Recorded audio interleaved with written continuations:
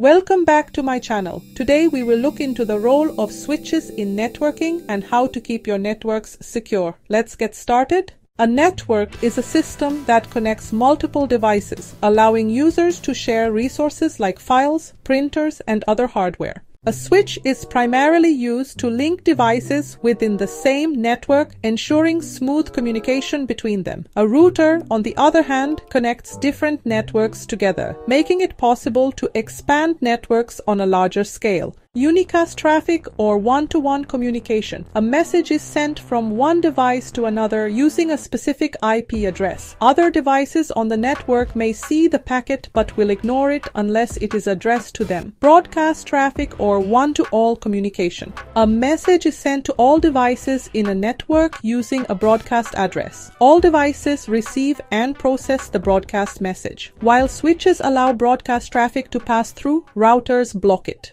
A switch is smart. It learns which devices are connected to its ports and directs data accordingly. Here's an example. Jane is communicating with Jack. Referencing the diagram shown on your screen, Jane sends a packet to Jack. Since the switch doesn't yet know which port Jack is on, it floods the packet to all ports. Jack responds, and now the switch records Jack's MAC address as belonging to port 4.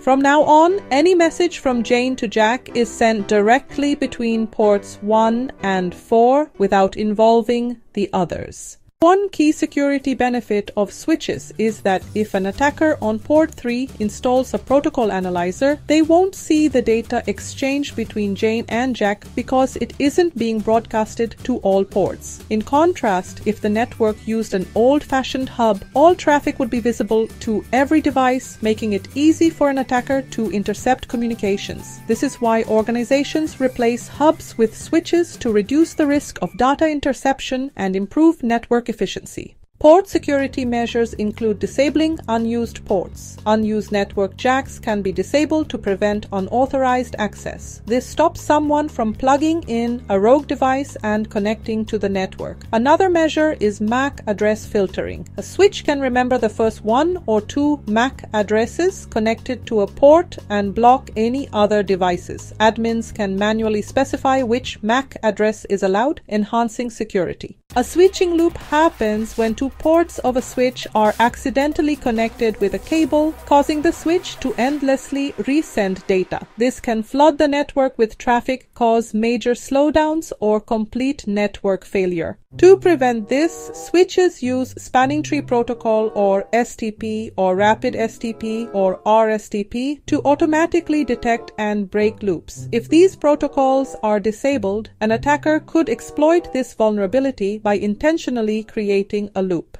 STP relies on BPDU or Bridge Protocol Data Unit messages to detect network loops. However, an attacker might send fake BPDU messages to disrupt the network. Solution BPDU Guard can be enabled on edge ports. If a BPDU message is detected on an edge port, the switch disables it right away, blocking the potential attack. Switches play a crucial role in managing network traffic efficiently while providing security advantages over hubs. Proper port security, loop prevention, and protocol protections help keep networks safe from attackers trying to intercept data or disrupt operations. And now we end today's episode. Do remember to subscribe to my channel for more such videos. If you like this one, please share with others. I'd love to hear your thoughts, so do give your feedback in the comments section. Thank you so much for your support and for watching. See you!